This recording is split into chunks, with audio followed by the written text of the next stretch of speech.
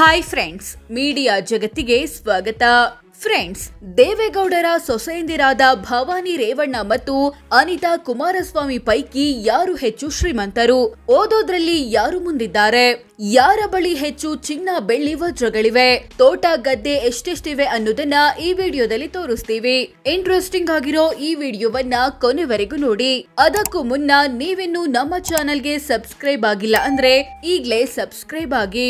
ಶಿಕ್ಷಣ friends Bhavani Revanna BE ಅಥವಾ bachelor of engineering ಪದವಿ ಪಡೆದಿದ್ದಾರೆ. ಅನಿತಾ ಕುಮಾರಸ್ವಾಮಿ ಕೂಡ ಬಿಇ ಓದಿದ್ದಾರೆ. ದೇವೇಗೌಡರ ಇಬ್ಬರು ಸೊಸೆಯಂದಿರು ಕೂಡ ಡಿಗ್ರಿವರೆಗೆ ಓದಿದ್ದಾರೆ. ಆದಾಯ. ಭವಾನಿ ರೇವಣ್ಣರ ವಾರ್ಷಿಕ ಆದಾಯ ಬರೋಬ್ಬರಿ ಒಂದು ಪಾಯಿಂಟ್ ಎರಡು ಒಂದು ಕೋಟಿ ರೂಪಾಯಿ. ಅಂದ್ರೆ ತಿಂಗಳಿಗೆ ಸರಿಸುಮಾರು ಹತ್ತು ಲಕ್ಷ. ದಿನಕ್ಕೆ ಮೂವತ್ನಾಲ್ಕು ಸಾವಿರ ಆಗುತ್ತೆ. ಅನಿತಾ ಕುಮಾರಸ್ವಾಮಿಯ ವಾರ್ಷಿಕ ಆದಾಯ ಬರೋಬ್ಬರಿ ಎರಡು ಪಾಯಿಂಟ್ ನಾಲ್ಕು ಆರು ಕೋಟಿ ರೂಪಾಯಿ. ಅಂದ್ರೆ ತಿಂಗಳಿಗೆ ಇಪ್ಪತ್ತೂವರೆ ಲಕ್ಷ, ದಿನಕ್ಕೆ ಅರವತ್ತೆಂಟು ಸಾವಿರ ಆಗುತ್ತೆ. ಹೆಚ್ಚು ಆದಾಯ ಬರ್ತಿರೋದು ಅನಿತಕ್ಕಂಗೆ ಅನ್ನೋದು ಸ್ಪಷ್ಟ. ವಾಹನ. ಭವಾನಿ ರೇವಣ್ಣ ತಮ್ಮ ಹೆಸರಲ್ಲಿ ಯಾವುದೇ ವೈಯಕ್ತಿಕ ವಾಹನ ಇಲ್ಲ ಅಂತ ಘೋಷಿಸಿಕೊಂಡಿದ್ದಾರೆ. ಅನಿತಾ ಕುಮಾರಸ್ವಾಮಿ ಬಳಿ ಇನ್ನೋವಾ ಕ್ರಿಸ್ಟಾ ಕಾರಿದೆ. ಇದರ ಮೌಲ್ಯ ಹನ್ನೊಂದು ಪಾಯಿಂಟ್ ಒಂದು ಐದು ಲಕ್ಷ ಅಂತ ಘೋಷಿಸಿಕೊಂಡಿದ್ದಾರೆ. ಬಂಗಾರ.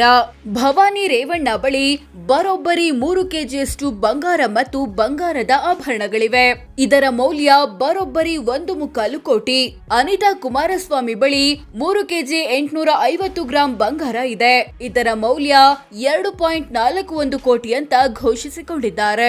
ಬೆಳ್ಳಿ, ಭವಾನಿ ರೇವಣ್ಣ ಬಳಿ ಬರೋಬ್ಬರಿ ನಲವತ್ತೈದು ಕೆಜಿಯಷ್ಟು ಬೆಳ್ಳಿ ಮತ್ತು ಬೆಳ್ಳಿಯ ಆಭರಣಗಳಿವೆ. ಇದರ ಬೆಲೆ ಮೂವತ್ತಾರು ಲಕ್ಷ ರೂಪಾಯಿ. ಅನಿತಾ ಕುಮಾರಸ್ವಾಮಿ ಬಳಿ ಹದಿನೇಳು ಕೆಜಿಯಷ್ಟು ಬೆಳ್ಳಿ ಇದೆ. ಇದರ ಬೆಲೆ ಹದಿಮೂರು ಲಕ್ಷ ಅಂತ ಡಿಕ್ಲೇರ್ ಮಾಡಿಕೊಂಡಿದ್ದಾರೆ. ವಜ್ರ, ಭವಾನಿ ರೇವಣ್ಣ ಬಳಿ ಸುಮಾರು ಇಪ್ಪತ್ತೈದು ಕ್ಯಾರೆಟ್ ನಷ್ಟು ವಜ್ರ ಮತ್ತು ವಜ್ರ ಖಚಿತ ಆಭರಣಗಳಿವೆ. ಇದರ ಬೆಲೆ ಹತ್ತು ಲಕ್ಷಕ್ಕೂ ಹೆಚ್ಚು. ಅನಿತಾ ಬಳಿ ಐವತ್ತು ಕ್ಯಾರೆಟ್ನಷ್ಟು ವಜ್ರ ಮತ್ತು ವಜ್ರ ಖಚಿತ ಆಭರಣಗಳಿವೆ. ಇದರ ಬೆಲೆ ಮೂವತ್ಮೂರು ಲಕ್ಷ ರೂಪಾಯಿ. ತೋಟ, ಗದ್ದೆ, ಜಮೀನು. ಭವಾನಿ ರೇವಣ್ಣ ತಮ್ಮ ಹೆಸರಲ್ಲಿ ಹತ್ತು ಎಕರೆಗಳಷ್ಟು ಕೃಷಿ ಜಮೀನು ಇದೆ ಅಂತ ಘೋಷಿಸಿಕೊಂಡಿದ್ದಾರೆ. ಇದರ ಬೆಲೆ ಒಂದು ಪಾಯಿಂಟ್ ನಾಲ್ಕು ಒಂದು ಕೋಟಿ. ಅನಿತಾ ಕುಮಾರಸ್ವಾಮಿ ಹೆಸರಲ್ಲಿ ಬರೋಬ್ಬರಿ ಐವತ್ತೆರಡು ಎಕರೆ ಕೃಷಿ ಭೂಮಿ ಇದೆ. ಇದರ ಬೆಲೆ ಇಪ್ಪತ್ತೆಂಟು ಕೋಟಿ ಅಂತ ಘೋಷಿಸಿಕೊಂಡಿದ್ದಾರೆ. ಕೃಷಿಯೇತರ ಭೂಮಿ. ಭವಾನಿ ರೇವಣ್ಣ ಹೆಸರಲ್ಲಿ ಐದೂವರೆ ಕೋಟಿ ಮೌಲ್ಯದ ಕೃಷಿಯೇತರ ಜಮೀನುಗಳಿವೆ. ಅನಿತಾ ಕುಮಾರಸ್ವಾಮಿ ತಮ್ಮ ಬಳಿ ಕೃಷಿಯೇತರ ಭೂಮಿ ಇಲ್ಲ ಅಂತ ಘೋಷಿಸಿಕೊಂಡಿದ್ದಾರೆ. ವಾಣಿಜ್ಯ ಕಟ್ಟಡ. ಭವಾನಿ ರೇವಣ್ಣ ಬೆಂಗಳೂರಿನಲ್ಲಿ ಎರಡು ಕಮರ್ಷಿಯಲ್ ಬಿಲ್ಡಿಂಗ್ ಅಥವಾ ವಾಣಿಜ್ಯ ಕಟ್ಟಡಗಳನ್ನ ಹೊಂದಿದ್ದಾರೆ. ಇವುಗಳ ಒಟ್ಟು ಬೆಲೆ ಬರೋಬ್ಬರಿ ಹದಿನೇಳು ಕೋಟಿ ರೂಪಾಯಿ. ಅನಿತಾ ಕುಮಾರಸ್ವಾಮಿ ಕೂಡ ಬೆಂಗಳೂರಿನಲ್ಲಿ ಎರಡು ವಾಣಿಜ್ಯ ಕಟ್ಟಡಗಳನ್ನ ಹೊಂದಿದ್ದಾರೆ. ಇವುಗಳ ಒಟ್ಟು ಬೆಲೆ ಬರೋಬ್ಬರಿ ಮೂವತ್ತೈದು ಕೋಟಿ ಅಂತ ಘೋಷಿಸಿಕೊಂಡಿದ್ದಾರೆ. ಮನೆ ಭವಾನಿ ರೇವಣ್ಣ ಹೆಸರಲ್ಲಿ ಬೆಂಗಳೂರಿನಲ್ಲಿ ನಾಲ್ಕು ಮತ್ತು ಮೈಸೂರಿನಲ್ಲಿ ಒಂದು ಸೇರಿ ಒಟ್ಟು ಐದು ಸ್ವಂತ ಮನೆಗಳಿವೆ. ಎಲ್ಲ ಮನೆಗಳ ಒಟ್ಟು ಮೌಲ್ಯ ಹತ್ತತ್ರ ನಾಲ್ಕು ಮುಕ್ಕಾಲು ಕೋಟಿ. ಅನಿತಾ ಕುಮಾರಸ್ವಾಮಿ ತಮ್ಮ ಹೆಸರಲ್ಲಿ ಸ್ವಂತ ಮನೆ ಇಲ್ಲ ಅಂತ ಘೋಷಿಸಿಕೊಂಡಿದ್ದಾರೆ. ಒಟ್ಟು ಆಸ್ತಿ. ಭವಾನಿ ರೇವಣ್ಣ ತಮ್ಮ ಹೆಸರಲ್ಲಿರೋ ಎಲ್ಲ ಆಸ್ತಿ ಪಾಸ್ತಿಗಳನ್ನ ಸೇರಿಸಿದ್ರೆ ಮೂವತ್ತೆಂಟು ಕೋಟಿ ಆಗುತ್ತೆ ಅಂತ ಘೋಷಿಸಿಕೊಂಡಿದ್ದಾರೆ. ಅನಿತಾ ಕುಮಾರಸ್ವಾಮಿ ಹೆಸರಲ್ಲಿರೋ ಆಸ್ತಿಗಳನ್ನ ಸೇರಿಸಿದ್ರೆ ಬರೋಬ್ಬರಿ ನೂರ ಐವತ್ನಾಲ್ಕು ಕೋಟಿ ಆಗುತ್ತೆ ಅಂತ ಡಿಕ್ಲೇರ್ ಮಾಡ್ಕೊಂಡಿದ್ದಾರೆ. ಗಂಡನ ಆಸ್ತಿ. ಭವಾನಿಯ ಗಂಡ ಎಚ್ ಡಿ ರೇವಣ್ಣರ ವೈಯಕ್ತಿಕ ಆಸ್ತಿ ಮೂವತ್ಮೂರು ಕೋಟಿ. ಅನಿತಾರ ಗಂಡ ಎಚ್ ಡಿ ಕುಮಾರಸ್ವಾಮಿಯ ವೈಯಕ್ತಿಕ ಆಸ್ತಿ ಐವತ್ನಾಲ್ಕು ಕೋಟಿ ಅಂತ ಘೋಷಿಸಿಕೊಂಡಿದ್ದಾರೆ. ಮಕ್ಕಳ ಆಸ್ತಿ.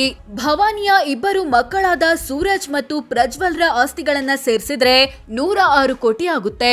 ಅನಿತಾ ಕುಮಾರಸ್ವಾಮಿಯ ಮಗ ನಿಖಿಲ್ರ ಆಸ್ತಿ ಎಪ್ಪತ್ತೇಳು ಕೋಟಿ ಅಂತ ಘೋಷಿಸಿಕೊಂಡಿದ್ದಾರೆ. ಸಾಲ ಬಾಕಿ. ಭವಾನಿ ರೇವಣ್ಣ ವೈಯಕ್ತಿಕವಾಗಿ ಐದು ಕೋಟಿಯಷ್ಟು ಸಾಲ ಮತ್ತು ಹೊಣೆಗಾರಿಕೆ ಬಾಕಿ ಉಳಿಸಿಕೊಂಡಿದ್ದಾರೆ. ಅನಿತಾ ಕುಮಾರಸ್ವಾಮಿ ಬರೋಬ್ಬರಿ ಅರವತ್ಮೂರು ಕೋಟಿಯಷ್ಟು ಸಾಲ ಮತ್ತು ಹೊಣೆಗಾರಿಕೆ ಬಾಕಿ ಉಳಿಸಿಕೊಂಡಿದ್ದಾರೆ. ರಾಜಕೀಯ ಅನುಭವ.